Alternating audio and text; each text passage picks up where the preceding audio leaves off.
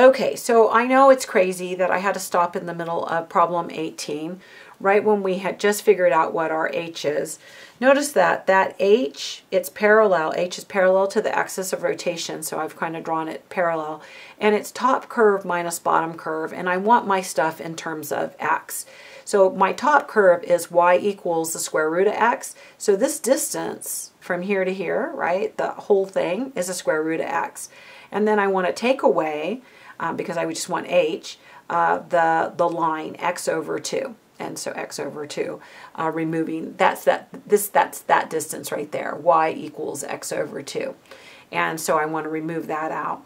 And uh, you notice that the top curve and the bottom curve are the same all the way from um, from 0 to 4 and so everywhere there there the top curve and the bottom curve are exactly the same. Now I want to come up with what my r is and r is the distance that goes from h to the axis of rotation. That's R. And um, you might remember that the distance from uh, this distance right here, that goes from any point, my point here, H, to the y-axis, do you guys remember that that was called x? And when I was going around the y-axis, then my r was equal to x. But this time I'm not going around the y-axis. And so, uh, but I'll still be able to find what r is uh, in terms of x, right? I know this whole thing is 5. So from the y-axis to the axis of rotation is 5, a distance of 5. And I just want to know that little distance, r right there. So if the whole thing is 5, and this distance right here is called x, then r must be 5 take away x. And then now I'm ready, I'm in business here. So remember that the volume of a shell is 2 pi RH. And, uh, and so our case, this is 2 pi dx in this case. Um, 5 minus x times the square root of x minus x over 2 dx. So I'm going to have to multiply that together using FOIL. It's not going to be that bad. I'll be able to do it. And then where are my H's going? My H's go, this is a typical H, and here's the first H's, right, down here, and they start at 0. And then my last H is at, uh, at 4. Do you guys agree? So from 0 to 4 are my bounds.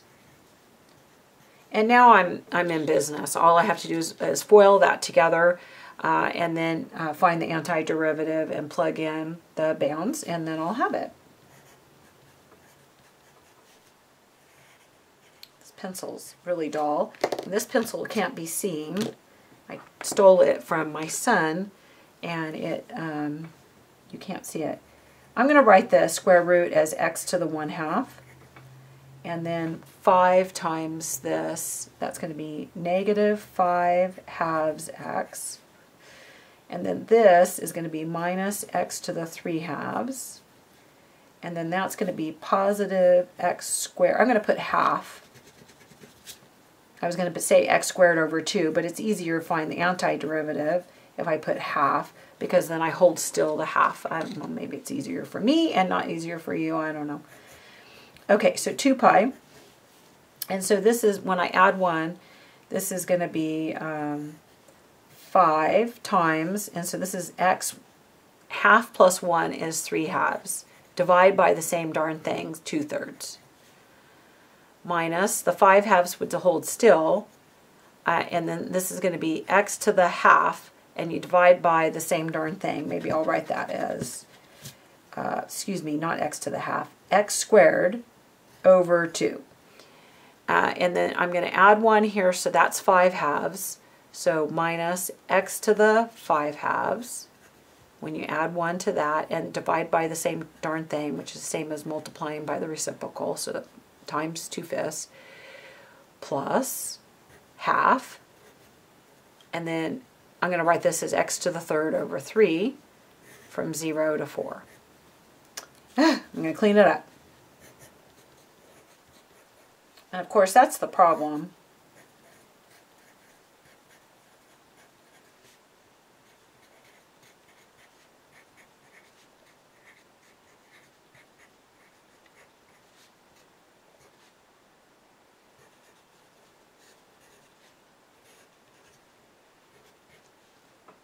Okay, so now I'm going to put in 4.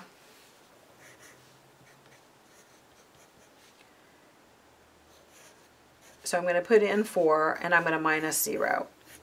And I'm just going to put in 4 with my calculator and, um, and so I'm not going to write it. Um, I'm feeling kind of tired, feeling kind of lazy. I'm feeling like I've worked too hard already today.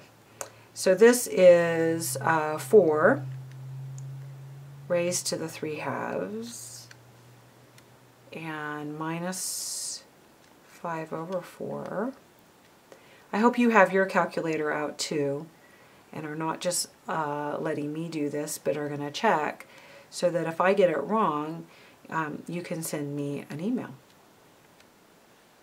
telling me. Um,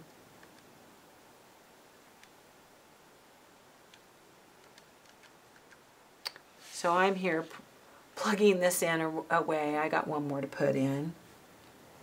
Plus and then I'm going to have a fraction here.